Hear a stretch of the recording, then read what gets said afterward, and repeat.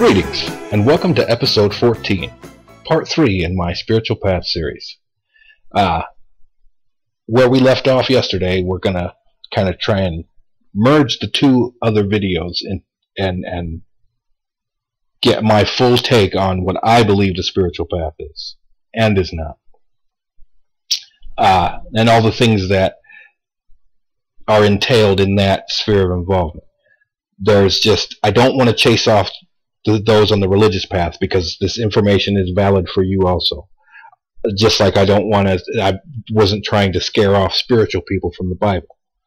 Uh, it just a lot of things that need to be discussed, and I think that a three-part series isn't enough. But I do believe that this is going to be the last part of this series. We'll probably pick it back up again later, but for now, we'll just go ahead and close out this series with three parts. So uh, let's get started.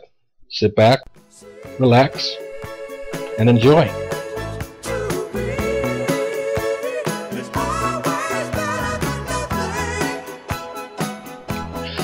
All right, round three.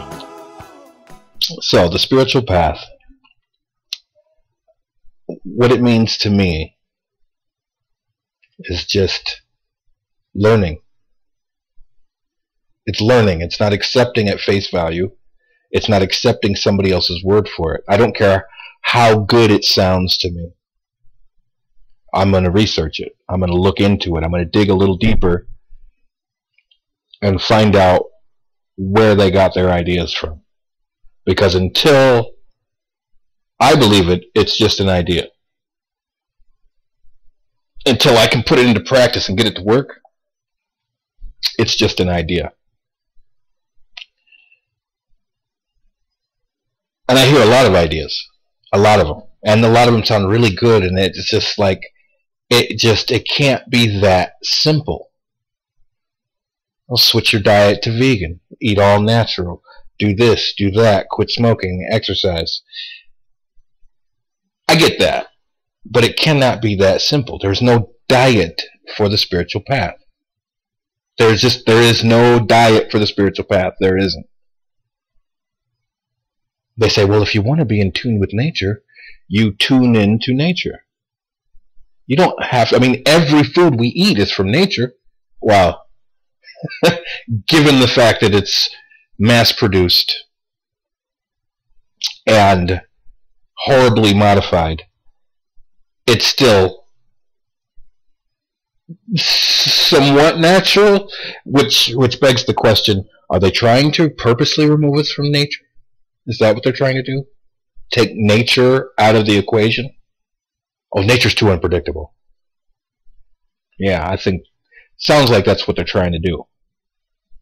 But you don't know going to the store and you're buying your vegetables and you're buying your fruits, you don't know if those have been modified. They're not labeled.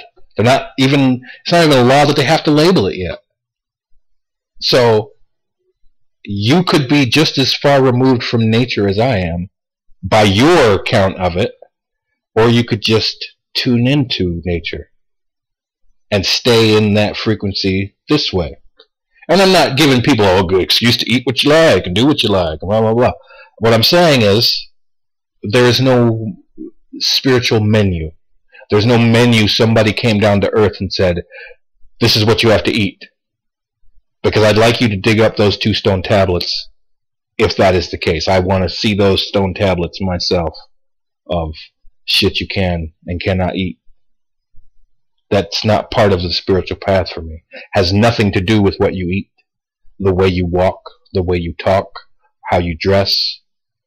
If you have a sense of humor, whether it's dirty and perverted or a straight sense of humor or any type of sense of humor, whether you don't have a sense of humor, your path is for you. My path is not your path. I'm not going to tell you, hey, you should smoke and eat bacon. But I will tell you, I smoke and I eat bacon.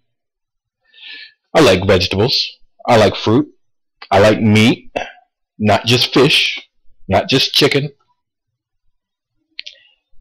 Uh, no, there's there's no way you can have a path to spirit and then say rules, rules, rules, rules. That's the whole point.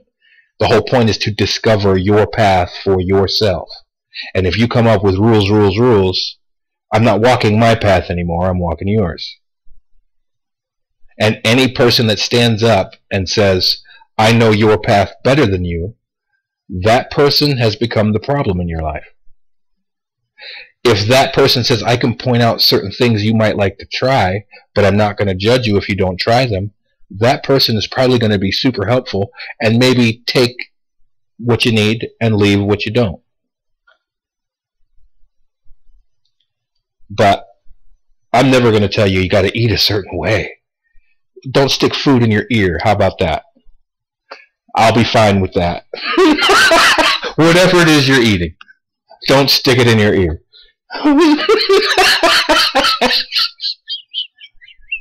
it's not what you're wearing. It's be standing there naked. What is the difference? Because if you're judging a person on their outward manifestation, isn't that kind of the point of the spiritual path is to learn the inner journey and to focus on someone else's outer journey? That's just outward expression of the self. I don't like what they're wearing. That's okay. You don't have to like what they're wearing, but you also don't have to point it out to that person or make that person feel bad that you don't like what they're wearing or anything because you not liking how somebody else dresses no matter how spiritual you claim to be no matter how spiritual they claim to be it's not a problem I don't like how some people dress sometimes you become the problem when you walk up to that person and point it out it's not your business, their personal expression. I'm, let me repeat myself. It's not your business, their personal expression. If they have no personal expression, if they have no sense of style, that's their path. It's not for anybody else but them to decide, hey, I'm going to try that. If you walk up to somebody, hey, you should try this, and you shove a bunch of clothes in their hands and do up their makeup for them, and da da da, you've just opened their cocoon. And now they're never going to be able to fly unless they're on your back or on somebody else's back that's good with the ideas because you've now just taken away their ability to, to decide for themselves what's good in their life.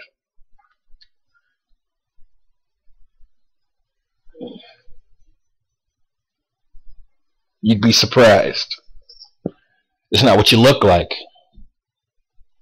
I don't find myself particularly attractive, but I still walk the path.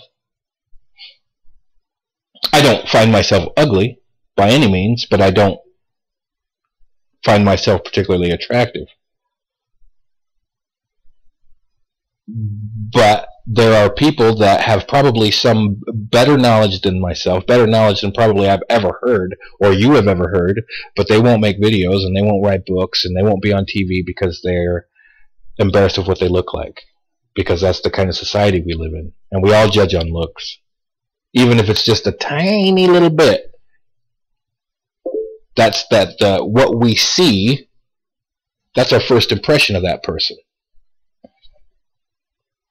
and our first impression of a person,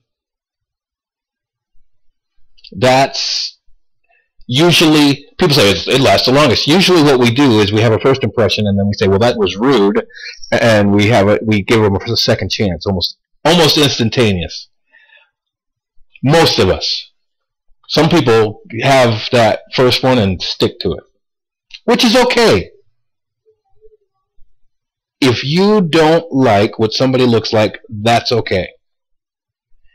When you walk up and point it out to that person, then you become the problem. So, we're moving down the road still. Still, still down the path. We know there's no menu. We know there's no dress code. And we know that it doesn't matter what you look like, the color of your skin. Uh, doesn't matter if you're black, doesn't matter if you're white. I don't pander to racists. I don't care for racism. That's why I don't subscribe to the conscious community because it's predominantly black people, melanites, which isn't the bad part. The bad part is about 90% of them somewhere along the uh, lines, somewhere along the lines in their in their videos, in one or more of their videos, they start spouting some racist doctrine or another, and I can't subscribe to that. I guess I can't. I grew up in the military. When you grow up in the military, as long as you're cool, you're cool. That's that's the way I grew up, and I'm not going to change that. You know, you got to be down for this. No, that's not how the path works. You're trying to take a good thing that we try to keep it nameless on purpose. I only call it the spiritual path to have something to call it. Because once you name it, it becomes a religion, and then it becomes a political tool, like the conscious community has become a political tool. Because they named it the conscious community. it is not by any means the only conscious community, but far and away it is the most contradic- contradictory because it says love and light and peace and shine and but not those people. So i can't i can't get in on that. I can't get in on bashing anybody not for their race not for their faith. If you're a muslim good on you. You're a christian good on you. Buddhist any religion you can think of I don't have a problem with it because I know that even though a lot of these religions were taught wrong, they're rooted in the basis of creating a connection to source and maintaining it. to me, the path and all of these books, it is the blueprints and maps for the evolution of our entire species, not just one race, not just one culture, but the entire species. And if you let something like that devolve into a religion, it becomes stagnant because now it's no longer about your connection to source. It's no longer about moving forward as an entire race. It becomes about taste great, less filling. Taste great, less filling. I can't get into that. I know what I believe about the world, but I also know enough to let other people have their beliefs also. So I'll never probably get into political debates concerning religion because politics and religion should have never been mixed. Matter of fact, back in the day, politics was religion. All you had to do was win their belief system over and you had them. Well, it kind of works that way today, but it's separated from politics. Not by very much, but it is. Or it wouldn't work as a control unit for the people. People would say, you know what? Good, you're a Christian, whatever. What are you going to do for the people as a whole? But see, the way the politicians try to spin it to add to that taste great, less filling argument is I'm a Christian and I'm talking to you, Christians. And this is what I'm going to do for Christians. And he, the Christians that they get whipped into it for friends. Oh, we got a Christian in the house, and he's going to do what we want as Christians, and they use that faith. That's worse than saying, "Well, I'm going to fix all the streetlights," and you didn't fix the streetlights. They come in with your faith and say, "I'm going to do something based on your faith," and then don't. Wow. That's abuse of faith, not just abuse of trust. I trusted you with my faith, and this is what I got from it. So you, those two should be separate. Matter of fact, yes, religion and politics should be separate. But religion should be about the spirit. I should be able to say religion and everyone agree that it's about creating and maintaining your connection to source without a middleman free to journey and learn and meander and see what the wonders that were put here to be seen. The Creator created this. Every ghost, every dimension, every UFO people talk about, it's demons. No, no, no, no, no. These are the wonders that He put here for us to discover and learn from and move forward as a species as we move from superstition into wisdom. And most people are stuck in the political superstition of it all. Even some people on the path get stuck in politics, but they know enough to separate the two.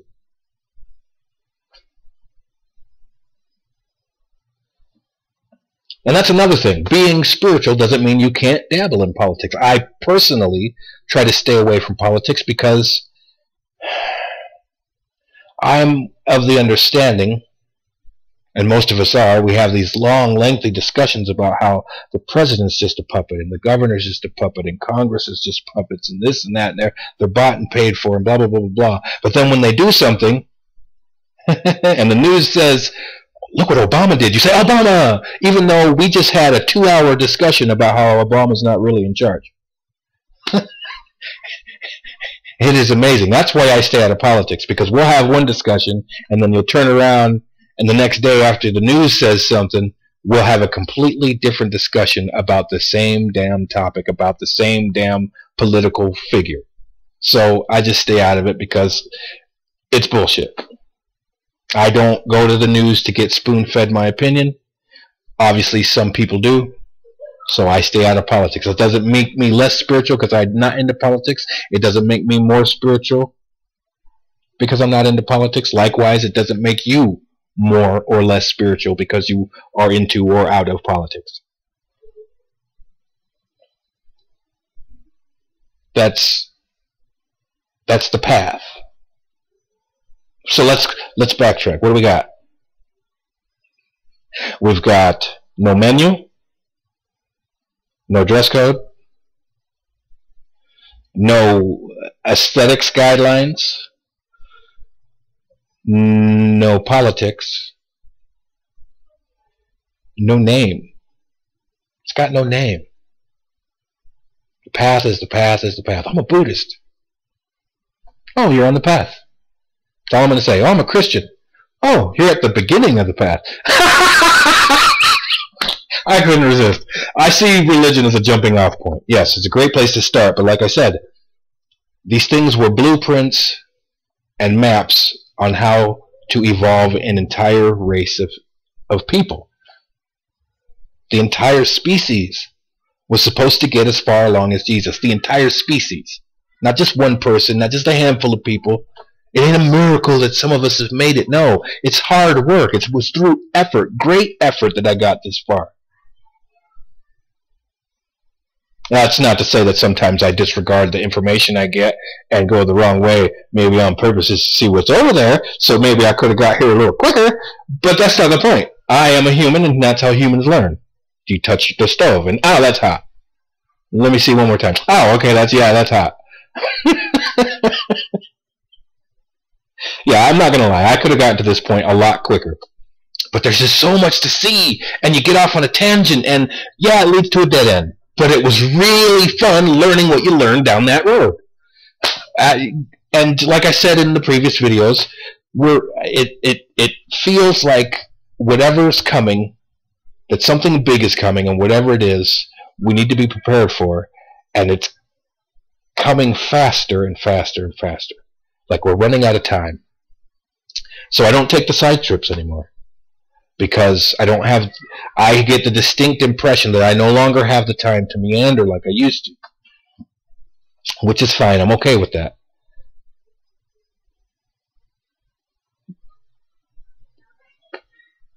I hope you guys are okay with that. I hope I hope if you get that feeling like time is speeding up and I'm running out of time, don't get overwhelmed. Take a deep breath. You only have to do the tasks that you feel in your heart that were assigned to you. It was none of our responsibility to save the world or anybody on it. Your only responsibility is to yourself and then reflect that out to the people so that they can see that it can be done. And don't stand up and say, ha, I did it. Stand up and say, look, if I can do it, I know you can do it.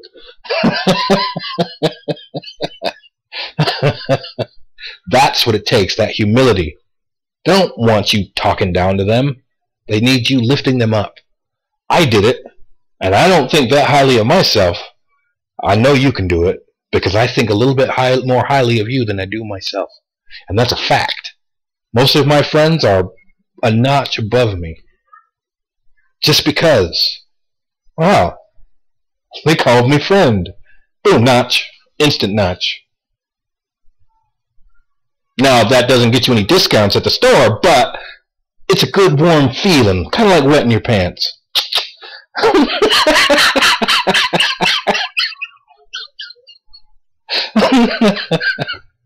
anyway, back to the path. so, we're walking the path again. We're getting down the road. What else have I learned? Okay, it's got no name. It's got no menu. It's got no dress code. What else does it have or not have? There's no stringent requirements. Don't eat on this day. Eat on that day. Eat two days from Tuesday, but not on a full moon. None of that. No rules. No rules. You are required 100% to take responsibility of your journey. No go-between. No hand leading. No spoon-fed ideas. It is your responsibility. If you accept these spoon-fed ideas like, oh, don't try it out. Just, just take what I've given you and run. And don't look back. And don't listen to anybody else.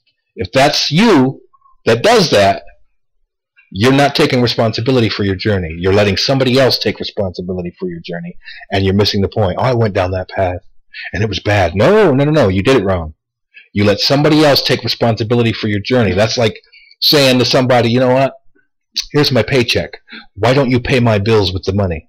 And when he runs off and spends all your money and comes back and says, dude, I got like five bucks left and all your bills are due. And then you freak out on that person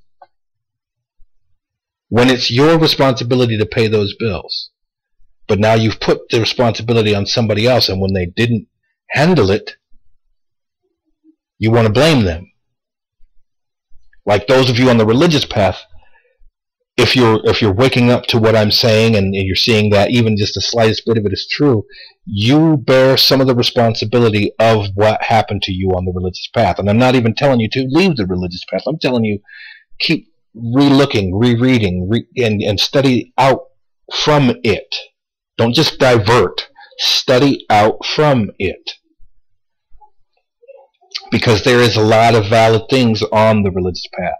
And there are a lot of people on the religious path that are on the religious path for a reason. Everyone gets a different assignment. I know my my assignment's different from yours. I know that, and it took me a long time to see it too.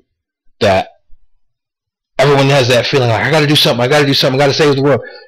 It's not to save the world. Yes, the world is in peril. Not, and I'm not saying the planet. I'm our world, what we consider our reality the way we live our lives, our culture is in peril because of the way we live our lives and because of our culture. What I'm saying is ease back that overwhelming sensation that it's your job to save 7 billion people. Your job is to save one person. You. Reflect out to the world how you did it and maybe give a little bit of advice. But that is it. That's pretty much why it's called a path in the first place and not a road because it's an individual journey. Each path is based on the interpretation of the person walking that path. It's based on your own unique perspective of the world around you and your interaction with the world around you. That's why each path is different. That's why you're not going to get to where I'm at on my path when you get this far because we have different experiences guiding us. I don't care if our roads curve at the same time, at the same place, and we're both there at the same point at the same time. You're not going to be experiencing what I'm experiencing because my relationship to source is different than your relationship to source. So how can you begin to save 7 billion people who are on a completely different journey than you? Granted, we're all going to meet up at the same place later. But that's not the goal. The goal is the journey, is what you're learning on the way there. Because I guarantee you, once we get there, we're all going to look at each other and we're all going to say, let's do it again. And we're going to do it again. And we're going to take a different path. Because we won't be the same person we were when we started the path in the first place. So how can we possibly walk the same path? Let's do it again. I cannot wait when we all get there and we all say, and we all apologize for being dicks to each other and say, well, let's do it again. That's going to be like the greatest day. But yeah, that's what the path is. It's a path of evolution. You come to the understanding on your own of where you would like to be in the future. Where would you like the future of humanity to go? You're not going to be able to decide that walking in a group because then you get the group mind and one person might have a really good idea and then everybody else in the group will discount their own idea because that one person. When if you would have said your idea, everyone might have liked your idea. But you didn't say your idea because you liked his idea. Oh, yeah. I guess that's better than my idea. Whereas if each one of us was walking a separate path, we'd all evolve along the lines of how we would like to see our species evolve. And the further we walk on our own separate path, the more you'll see that we agree more than we disagree. And then it's not group mind mentality then it's uh, what would you call it when every single soul on the planet agrees with the direction that we're going to be heading?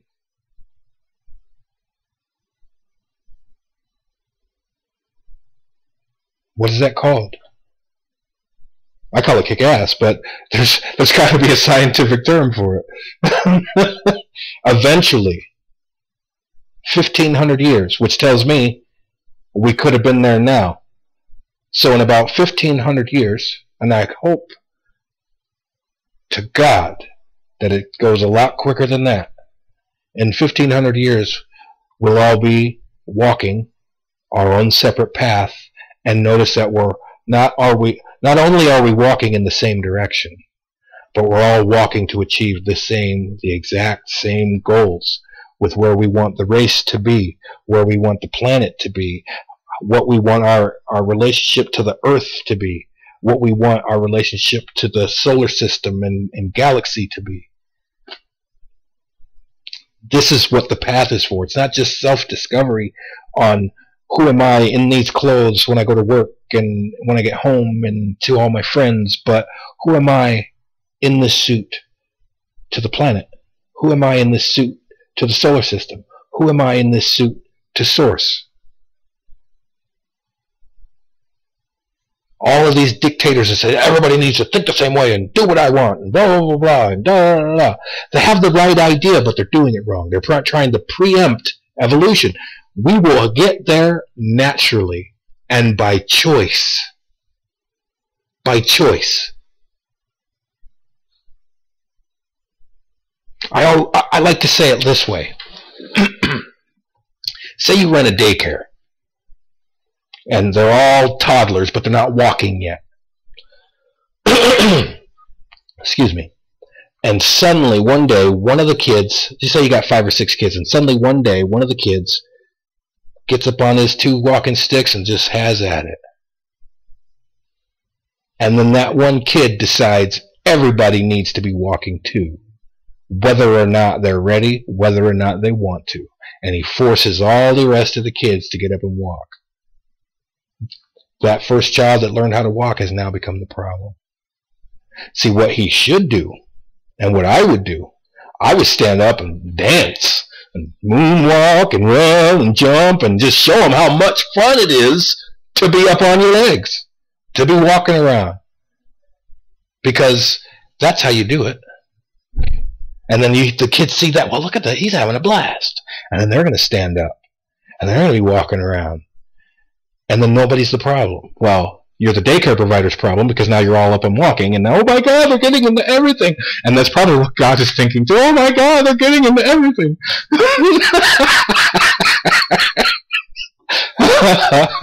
but you, you see my point.